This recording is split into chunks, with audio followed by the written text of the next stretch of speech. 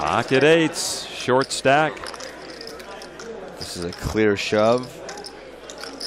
Pair of eights in the small blind.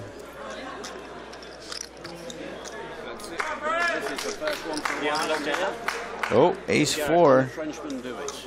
This is a pretty standard call here. With an ace when you wake up in the big blind to a small blind shove. So Piccioli likes his spot. His pocket eights all in, looking for the double up against Antoine Saout with a weak ace. Doesn't matter how weak it is, it is an ace against the pocket eights. But it's only one overcard to the two eights of Piccioli. Don't say anything. Bro, this, this is the ace, ace World Series. I'm just saying. Last time Piccioli was all in, he was in a good mood. And this time he's in a good mood again. So Saout trying to get lucky here and get the field to 10-handed combined to one table. Piccioli on the hook. He's ahead with the pocket eights trying to double up.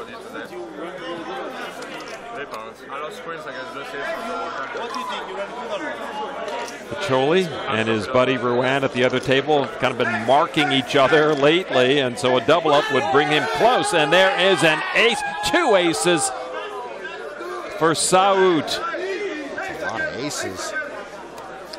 And that shoves Bryan Piccioli one and a half Mm. steps out of here. Wow. Indeed. What a flop for ace four. Piccioli now looking for an eight to score the full house. Queen of hearts, third heart on board. Neither of the players holds a heart, so flush is irrelevant. Piccioli's outs are still eight of hearts, eight of clubs.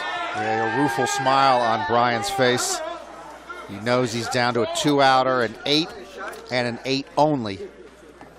for Bryan Piccioli is gone. The river is an eight! Oh! Wow, two outer. for the- Wow! Wow! that doesn't happen.